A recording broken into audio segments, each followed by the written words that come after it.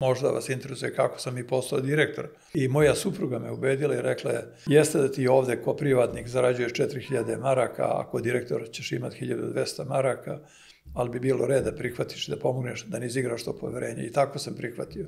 Prošle godine smo napravili neki ukupan prihod od 135 miliona eura i profit preko 6 miliona eura. Niko nema odnos prema nečemu dok ne izvadi pare iz džepa i ne da. Tada je on pravi vlasnik. A kada dobiješ besplatno, onda nisi.